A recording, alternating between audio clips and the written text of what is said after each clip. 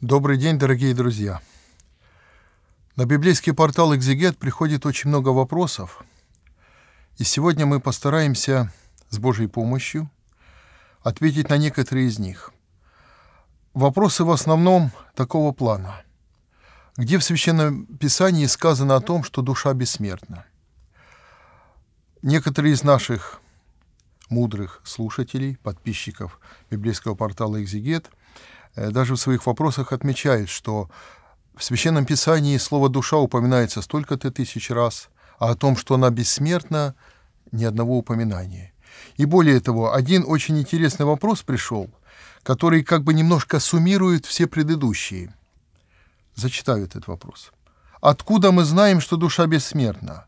Разве в Священном Писании не сказано «Живые знают, что умрут, а мертвые ничего не знают»? И уже нет им воздаяния. Экклесиаст, 9 глава, 5-6 стихи.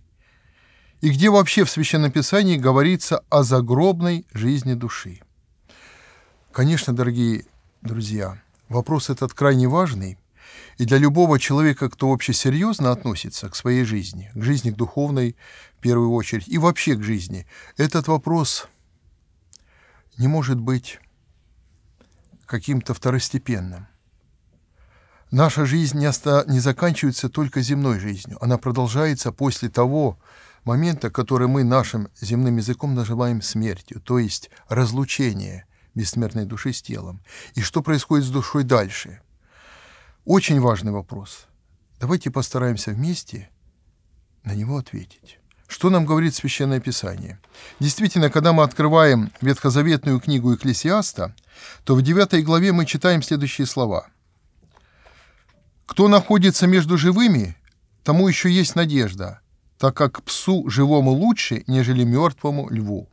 Живые знают, что умрут, а мертвые ничего не знают, и уже нет им воздаяния, потому что и память от них предана забвению. И немножко далее в этой же 9 главе Экклесиаст говорит следующее. «Все, что может рука твоя делать по силам твоим, делай, потому что в могиле, куда ты пойдешь, нет ни работы, ни размышления, ни знания, ни мудрости. Действительно, вот эта ветхозаветная учительная книга, которая как раз составлена царем Соломоном, и которая не, не случайно относится к учительным книгам Ветхого Завета, здесь, если посмотреть сам контекст, то здесь он неоднократно говорит о том, э, что вот э, многое видел я под солнцем, и вот все суета. Суеты, суета в жизни человека, любые его, его искания. И вот эти слова, что живые знают, что умрут, а мертвые ничего не знают, конечно, могут некоторых наших друзей, в первую очередь протестанствующих, соблазнять немножко отступая от темы, хочу э, сказать вам, дорогие друзья, что э, православно-протестантский диалог э, длится уже не одно десятилетие, и люди, которые более-менее в теме, то есть православные священники или миряне, миссионеры, которые так или иначе доброжелательно беседуют с нашими дорогими друзьями-протестантами, обратили внимание на то, что э, у наших дорогих друзей-протестантов есть такой как бы лозунг «соло скриптура» в переводе с латыни, то есть «только Писание». Они, как правило, ставят в упрек православным то, что мы, мы православные, якобы не по Писанию живем.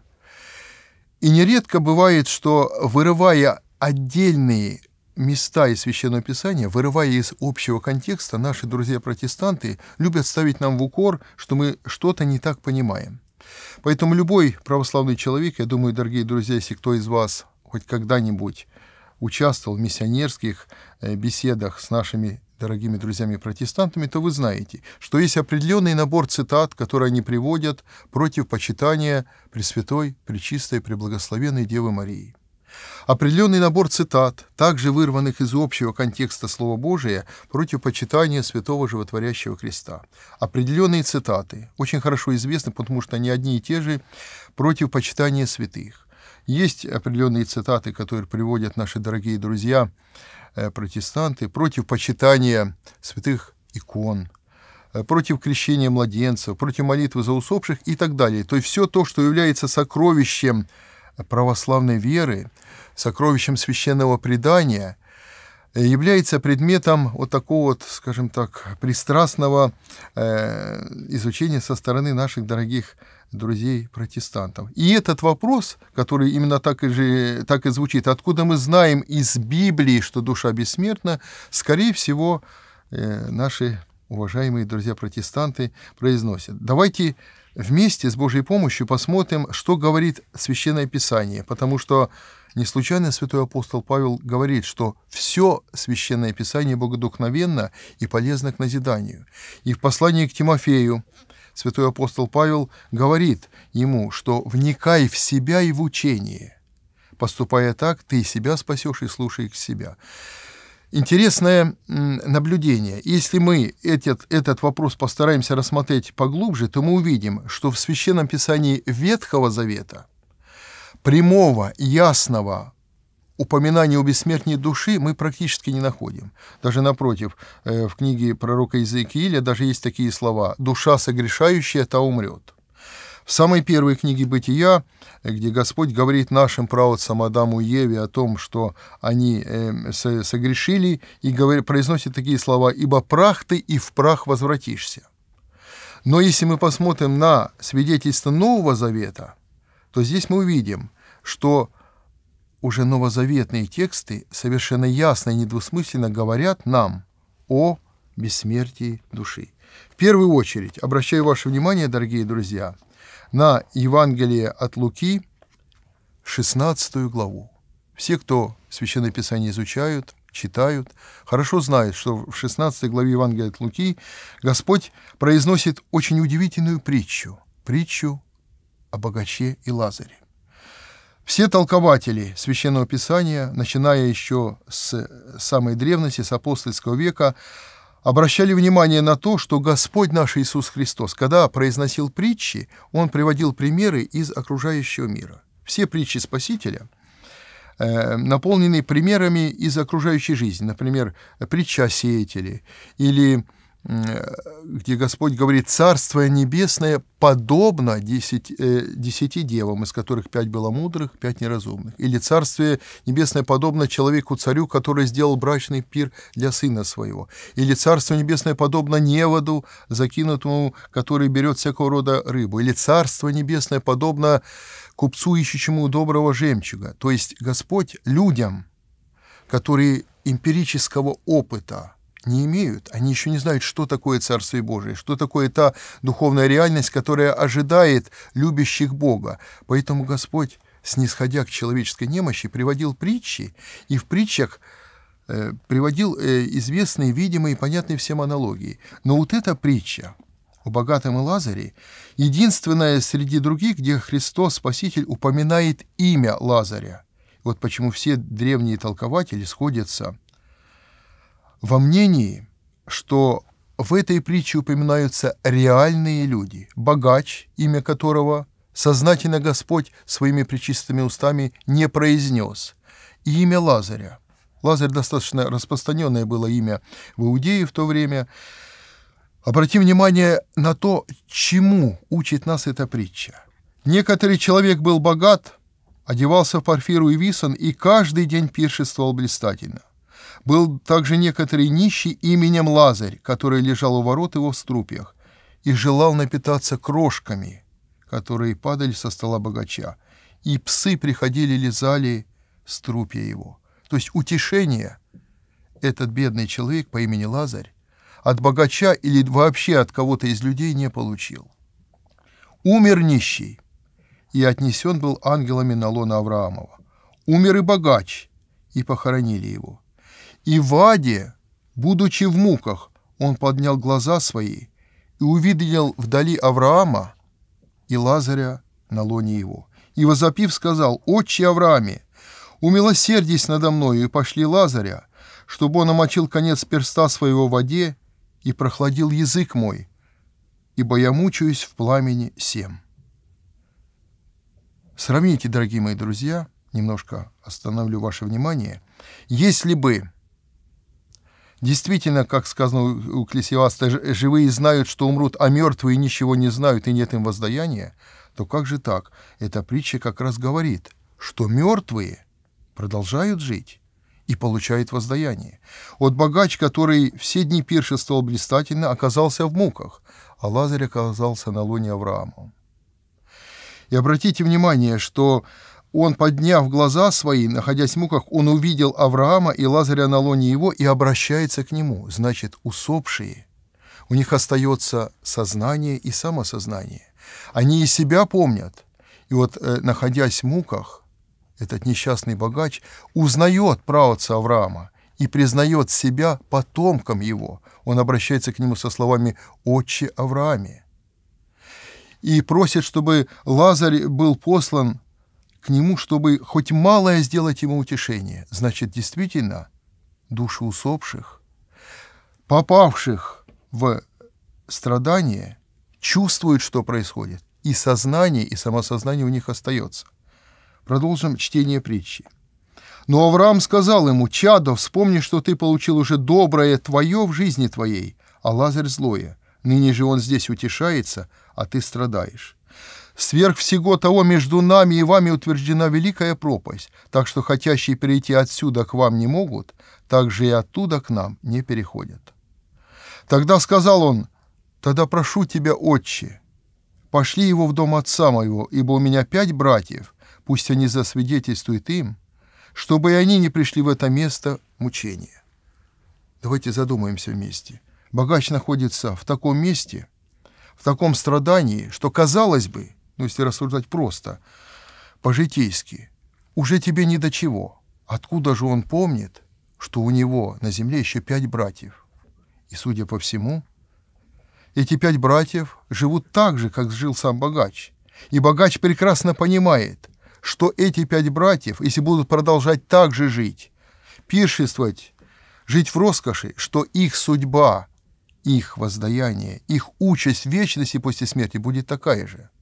Смотрите, не только сознание и самосознание, но еще даже какое-то какое даже чувство сострадания есть у человека после смерти. Его душа все чувствует, все ощущает, все видит и все помнит. И обратите внимание, праотец Авраам обращается с любовью, состраданием к этому своему потомку по плоти и говорит ему, «Чадо, вспомни, что ты получил уже доброе твое в жизни твоей». И праотец Авраам говорит ему, что между нами и вами учреждена великая пропасть. Некоторые из древних толкователей, ну, практически все в этом единомысленны, говорят о том, э, согласно со Священным Писанием, Э, что до спасительного страдания Господа Иисуса Христа, до Его схождения в ад, до Его славного воскресения, все праведники Ветхого Завета, все, начиная от наших правоотцев Адама и Евы, все не сходили в Шиол. Шиол — это такое место, куда сходили души всех, и праведников, и грешников.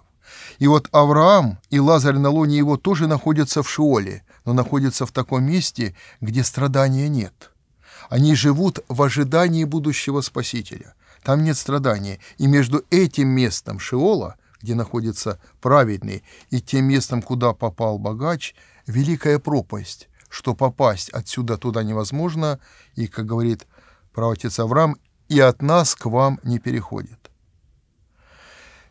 Обратите внимание еще раз, дорогие мои друзья, это как раз ответ тем, которые думают, что в Священном Писании нигде не сказано о бессмертии души. И нигде не сказано о том, что душа помнит о своей жизни, что у нее есть сознание, самосознание и какое-то вот ясное понимание, кто ты и за что ты сюда попал. Продолжим чтение притчи. Авраам, отвечая богачу, который просит послать Лазаря хотя бы на землю к его братьям, отвечает следующие слова. «У них есть Моисей и пророки, пусть слушают их». Он же сказал, нет, отче Аврааме, но если кто из мертвых придет к ним, покаются.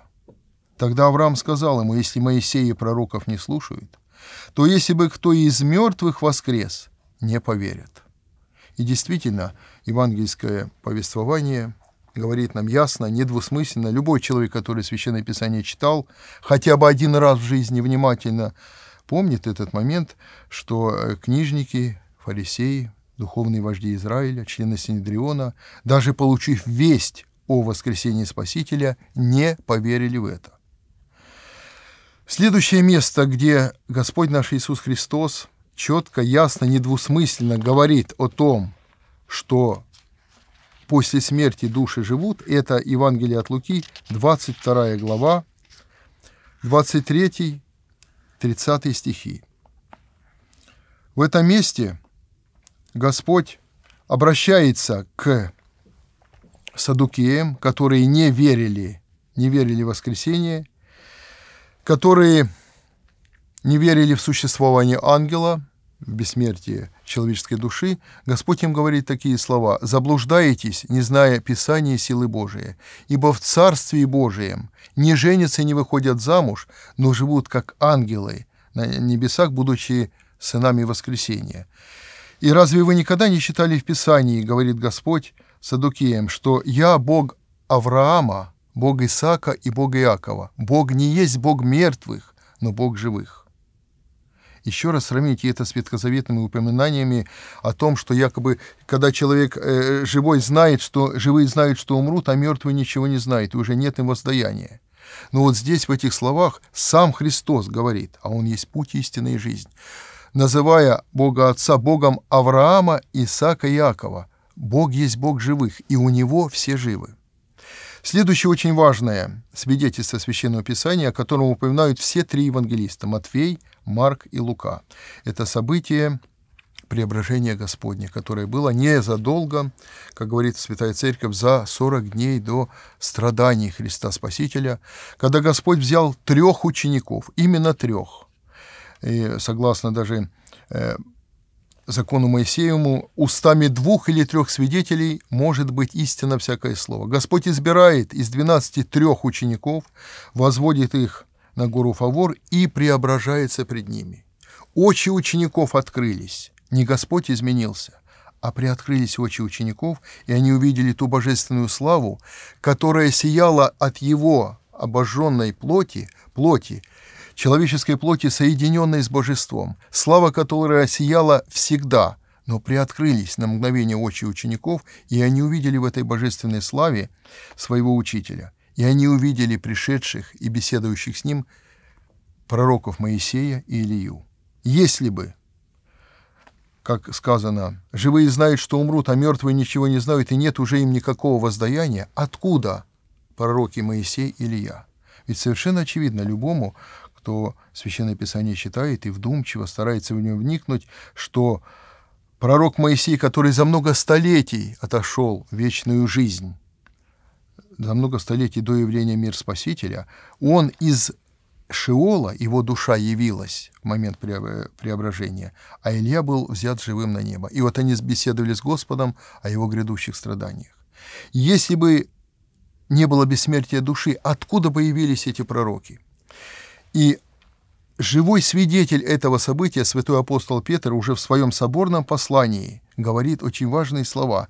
«Мы свидетельствуем вам, не хитросплетенным басням последуя, а будучи очевидцами Его величия», говорит тот, один из трех свидетелей преображения. Еще раз подчеркиваю ваше внимание, дорогие мои друзья, три евангелиста повествуют об этом событии. Три свидетеля были преображения Господа и видели души праведников, пророков, которые жили за много столетий до пришедшего в мир Спасителя. Следующее очень важное место, ясно свидетельствующее нам о том, что душа продолжает жить после смерти. Очень важное свидетельство. Из откровения апостола Иоанна Богослова. Напомню вам, дорогие друзья, что откровение апостола Иоанна Богослова было записано со слов апостола его учеником и это свидетельство было записано до Евангелия от Иоанна. Свое благовествование апостол Иоанн написал позже, а находясь э, в изгнании на острове Патмос, он имел вот это откровение о будущих судьбах мира, о будущих судьбах церкви. И вот э, какие слова пишет описатель откровения в шестой главе. И когда снял он пятую печать, я увидел под жертвенником души убиенных за Слово Божие и за свидетельство, которое они имели. И возопили они, они, души убиенных, громким голосом, говоря, «Доколе, владыка святый истинный, не судишь и не мстишь жив живущим на земле за кровь нашу». И даны были им каждому одежды белые, и сказано им, чтобы они успокоились еще на малое время, пока сотрудники их и братья их, которые будут убиты, как и они, дополнят число. Вот давайте задумаемся. И в свете высказываний Ветхого Завета посмотрим на это новозаветное свидетельство. А еще раз обращаю ваше внимание, дорогие мои друзья, это явление было апостолу Иоанну Богослову, возлюбленному ученику Спасителя, который и на Тайной вечере возлежал на персях его, который был свидетелем преображения, который даже до креста Голговского не оставил своего учителя. И вот он свидетельствует, он видел души убиенных. Если бы человеческая душа не продолжала жить после смерти, тогда какие души предстояли там, какие души обращались к Господу, возопили громким голосом, «Доколе, владыка святый истинный, не судишь и не мстишь живущим на земле за кровь нашу». И им был ответ, чтобы не успокоились на малое время, пока их сотрудники и братья, которые будут убиты так же, как и они. Поэтому, вопреки такому очень превратному истолкованию некоторых наших дорогих друзей-протестантов, это событие не после страшного суда Божия происходило, а именно до, именно за период от воскресения, вознесения Господа и до конца мира. Именно в этот период, потому что им было сказано, чтобы они успокоились еще на малое время, пока сотрудники и братья их, которые будут убиты, так же, как они, то есть это в продолжении вот этой земной жизни, и восполнят число.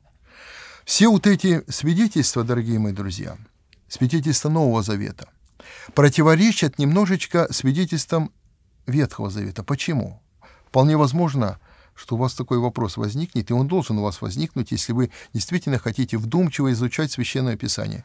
Почему множество свидетельств Ветхого Завета говорит только о том, что душа согрешившая умрет, согрешил ты в прах, ты и в прах возвратишься или что живые знают, что умрут, а мертвые ничего не знают и нет им воздаяния. А уже новозаветные свидетельства ясно, недвусмысленно говорят нам о бессмертии души. Святой апостол Павел, который был восхищен до третьего неба, и когда описывал это событие, сам о себе говорит, что я не знаю. Знаю человека во Христе по смирению. Апостол Павел в третьем лице говорит о себе. Знаю человека во Христе, который был восхищен до третьего неба, и слышал неизреченные глаголы «не знаю, в теле или вне тела». То есть в таком состоянии он находился, что даже не мог точно, точно объяснить, что это было за состояние.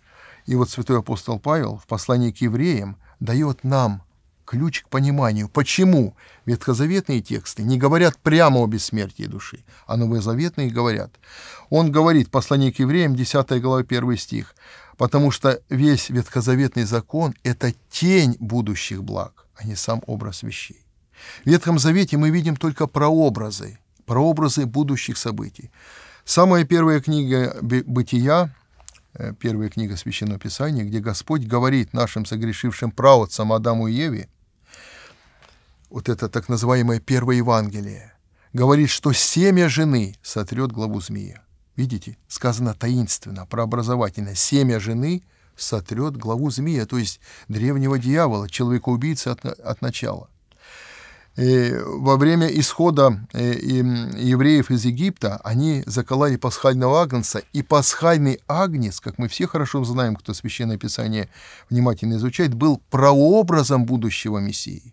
А уже в Новом Завете, в Евангелии от Иоанна мы читаем, как святой Иоанн Э, предтеча и креститель, указуя на Спасителя, говорит, вот агнец Божий, вземлющий грехи мира. Если там агнец как прообраз, там только тень будущих благ, но не сам образ вещей, то уже в Новом Завете, когда Спаситель э, уже пришел в этот мир и говорит, «Я есть путь, истина и жизнь». В Новом Завете уже четко и ясно говорится, что так возлюбил Бог мир, что послал Сына Своего Единородного, чтобы всякий верующий в Него не погиб, но имел жизнь вечную. Ветхий Завет — это время прообразов когда еще Мессию ожидали, когда все еще было э, туманно, как бы гадательно, еще только ожидали. А уже новозаветное откровение нам говорит и о Спасителе, кто Он, и сам Господь Иисус Христос. Евангелие от Иоанна, кто внимательно читал, вы, наверное, обратили внимание на это место, в седьмой главе э, говорит о себе. Подобно тому, как Моисей вознес змею в пустыне, так подобает быть вознесенным Сыну Человеческому. То есть в Ветхом Завете прообраз – а исполнение в Новом Завете. Поэтому нет ничего удивительного, дорогие друзья, что в Ветхом Завете прямых, четких, ясных указаний о бессмертии души мы не находим. Поэтому надо и читать целостно Священное Писание. Все Священное Писание богодухновенно, и Ветхий Завет, и Новый. Но раз мы сейчас имеем счастье жить в эпоху Нового Завета, когда Господь Иисус Христос, Солнце правды, уже пришел, уже пострадал, на кресте, воскрес и воссел одесную Бога, чтобы понимать правильно Священное Писание, надо Ветхий Завет понимать в ключе Нового Завета. И тогда, тогда Священное Писание будет действительно э, светом для нашей души. И, конечно, читать Священное Писание, хочется сказать в заключение, дорогие друзья, надо читать с молитвой Богу. В Евангелии от Иоанна описывается, как уже Господь наш Иисус Христос после своего воскресения явился ученикам, дунул, сказал, «Примите Духа Святого» и отверз им ум к уразумению Писания. Чтобы Господь отверз ум к уразумению Писания, надо молиться Богу. И чтобы Священное Писание правильно понимать, это персонально хочу сказать нашим дорогим, уважаемым друзьям-протестантам, его надо изучать целостно, а не выбирая отдельные цитаты – вырывая их из общего контекста. Читайте, дорогие мои друзья, Священное Писание, изучайте, вникайте, молитесь Богу, и храни вас всех Господь.